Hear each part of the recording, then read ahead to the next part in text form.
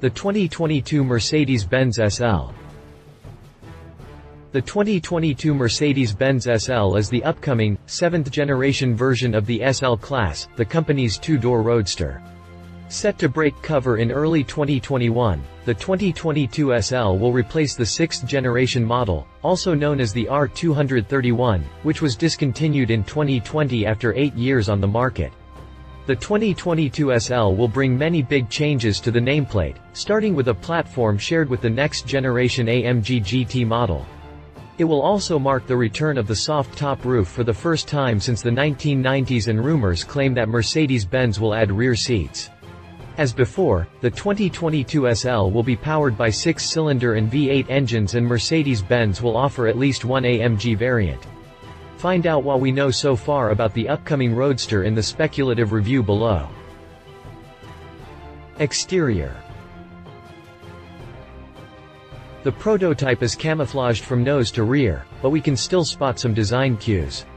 The most notable feature up front is the big grille with the Mercedes star in the center. It looks a lot like the Panamericana grille offered on AMG models and that's not surprising. The grille you see here features thin vertical and horizontal bars, but the upper trim models will feature the thicker vertical slats seen on the AMG GT and other AMG versions. The headlamps are in line with Merc's fresh design language. They're thinner and feature angular corners. Their shape is also closer to the AMG GT, so the front fascia may look somewhat similar to the next generation sports car. The profile retains the simplicity of the outgoing SL, but it still appears to feature beefed-up side skirts, muscular rear haunches, and vents in the front fenders. The quarter windows are notably smaller than before, which suggests thicker C-pillars.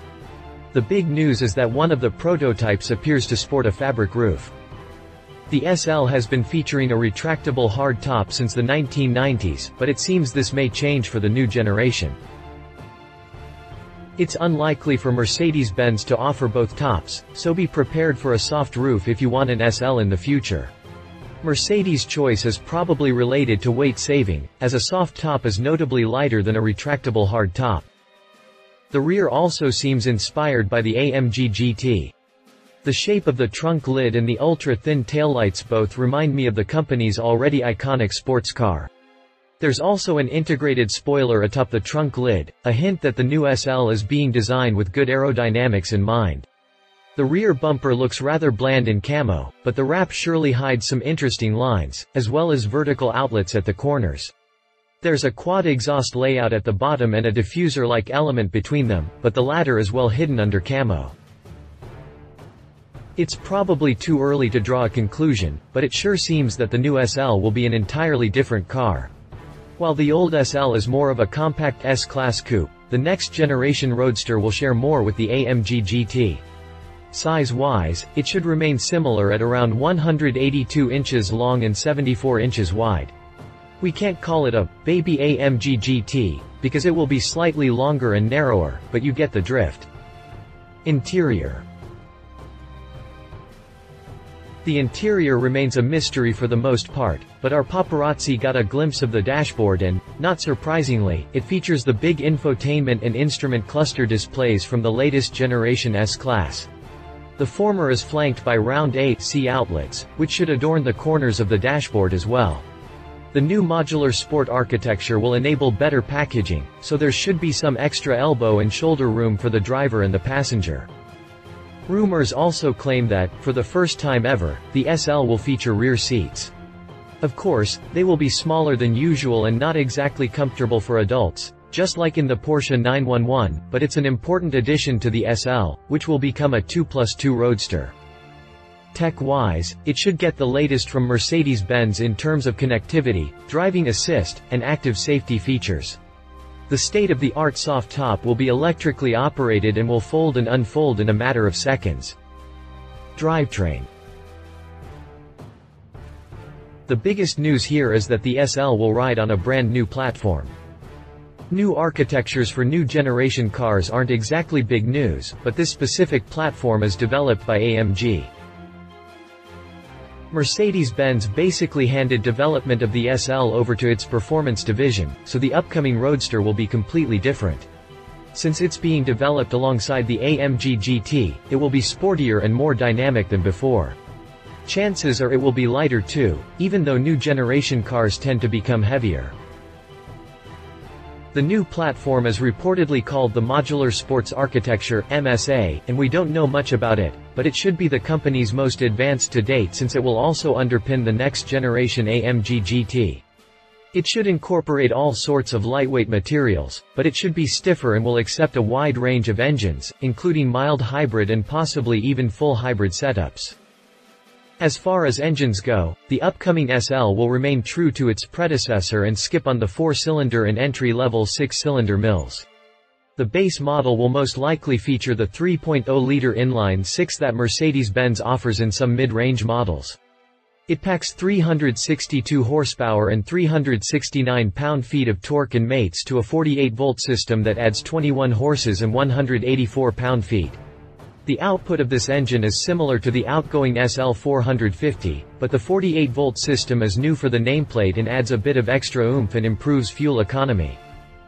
The second inline-six engine is also a 3.0-liter, but this one is borrowed from AMG 53 versions. It's rated at 429 horsepower and 384 pound-feet of torque and comes with a 48-volt system that adds an extra 21 horses and 184 pound-feet of twist. This SL will be the most powerful six-cylinder version yet, superseding the old SL450. It will replace the SL550 in the lineup, which features a V8 with 449 horsepower and 516 pound-feet. While not as powerful on its own, this 3.0-liter will hit 450 horses and 518 pound-feet with help from the 48-volt system. These regular SL models will be joined by a proper AMG version, the SL63. But the Roadster will ditch the dated 5.5-liter V8 in favor of the more modern 4.0-liter unit. Also a twin-turbo, this V8 will generate at least 563 horsepower and 553 pound-feet of torque plus what comes extra from the 48-volt system. The V8 alone comes with a slight 14 horsepower and 111 pound-foot deficit over the old 5.5-liter engine, but these figures might increase for the upcoming SL63. If you're a fan of the big gas-guzzling V12, you should know that there won't be an AMG SL65 version. Mercedes-Benz is phasing out the V12 and the SL makes no exception from this strategy. We could get a replacement, but there's no specific info about that. If it happens, Mercedes could introduce an AMG SL63S model with a beefed-up 4.0-liter V8. This mill generates 603 horsepower and 627 pound-feet of torque in existing models, but the rating could be higher for the SL version. There's also rumors about an upcoming AMG 73 drivetrain that combines the twin-turbo V8 with an electric motor. This would be a proper plug-in hybrid model. The V8 is rumored to deliver at least 600 horsepower, while the electric motor could crank out around 200 horses. This means the AMG SL73 could generate a combined 800 horsepower and some 730 pound-feet of torque. Mercedes-Benz actually used to offer an SL73 AMG version of the Roadster back in the 1990s, powered by the massive 7.3-liter V12 that Pagani now uses in its supercars. This extremely rare version came with 518 horsepower and 553 pound-feet of torque on tap. So we could witness a rebirth of this short-lived badge, but with an entirely different layout. All engines will mate to Merc's 9-speed automatic transmission. The AMG models will obviously feature the sportier unit from the Motorsport division, but the regular SL will also benefit from a gearbox tuned by AMG. The suspension system will also get special treatment. The new generation SL will be notably more dynamic than its predecessor, even in entry-level form, while the AMG SL63 version should be a close contender for the AMG GT on the racetrack. How much will the 2022 Mercedes-Benz SL cost? It's obviously too early for pricing information, but it's safe to assume that the next-gen Roadster will be a bit more expensive than the outgoing SL.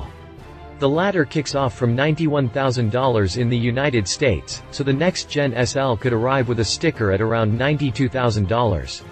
While the base trim will come in at less than $100,000, all the other models will blow past this mark. The AMG SL63 will probably cost around $150,000. Who would the new SL do battle against, then? The Mercedes-Benz SL is often compared to the BMW Z4 due to its two-seat roadster layout, but they're not exactly similar beyond that. The SL is more than 10 inches longer than the Z4, so it competes in a different niche. Also, Mercedes-Benz has the SLC to rival the Z4. A comparison to the BMW 8 Series isn't the best either. Not only the 8 Series is a proper 4-seater, but it's also some 10 inches longer than the SL. The Mercedes-badged Roadster is somewhat unique, but if it switches to a 2 plus 2 seating layout, it could go against the Porsche 911 Cabriolet. Sure, the 911 is a rear-engine car, but size-wise it will be similar to the SL at around 178 inches long and 75 inches wide. The 911 Cabriolet is available with a variety of engines, starting with the twin-turbo 3.0-liter flat-6 rated at 380 horsepower in the Carrera. The Carrera S comes with 444 horses on tap and both models are available in RWD or AWD configurations. Moving over to the turbo trims, the Turbo Cabriolet packs a twin-turbo, 3.7-liter flat-6 good for 573 horses, while the Turbo S cranks out a massive 641 horsepower. On the other hand, the 911 Cabriolet is notably more expensive.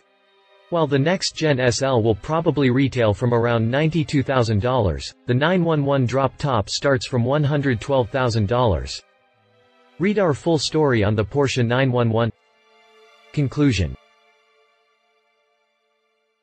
The current generation SL is so old that no talks about it anymore.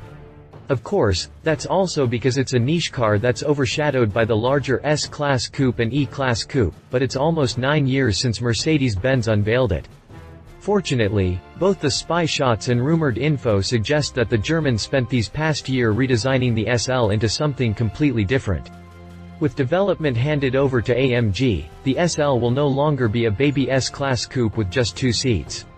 It will be lighter, quicker, and more dynamic. The closest thing to the AMG GT if you will. And those new rear seats will enable Mercedes-Benz to go against the Porsche 911.